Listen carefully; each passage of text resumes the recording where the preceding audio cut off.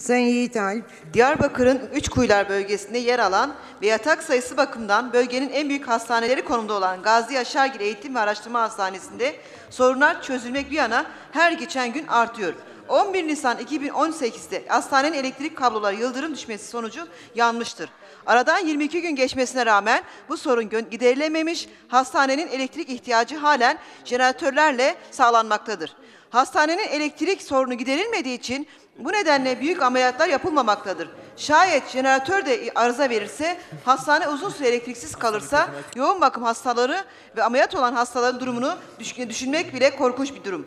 Bu nedenle Gazi Yaşargil Eğitim Araştırma Hastanesi'nde yaşanan bu sorunun bir an önce giderilmesi ve yetkili makamların harekete geçmesini talep ediyoruz.